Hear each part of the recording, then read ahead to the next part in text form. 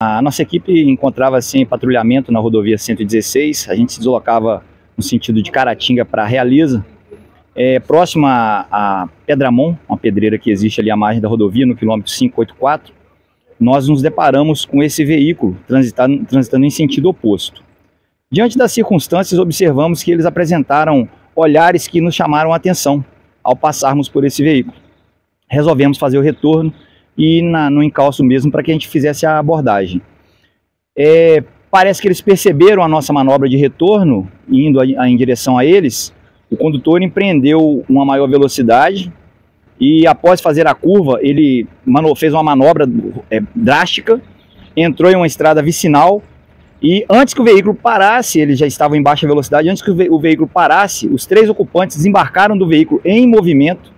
esse, esse veículo, por ter câmbio automático, ele estava em drive, continuou a, a, o deslocamento e acabou caindo em um buraco. E os três elementos é, empreenderam fuga em meio a um cafezal que, que existe ali nas, nas proximidades, córrego São Francisco. É, a equipe fez a, a, incursão no meio da, da lavoura e conseguimos o êxito de, de prender dois dos três indivíduos que se encontravam ocupando o veículo.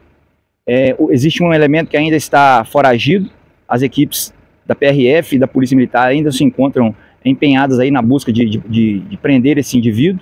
É, à medida que retornamos ao veículo, é, pudemos observar que ele era um clone, estava com placas, portando placas de outro veículo, da, com as mesmas características, e pudemos então localizar essa ocorrência de, de roubo e furto que aconteceu no dia 26 de janeiro na cidade do Rio de Janeiro. Diante da, das, das situações, diante do contexto, a gente está aí agora elaborando o boletim de ocorrência, pre, é, preenchendo os documentos, fazendo a devida identificação do veículo, para que a gente conduza a autoridade policial para dar aí os próximos passos.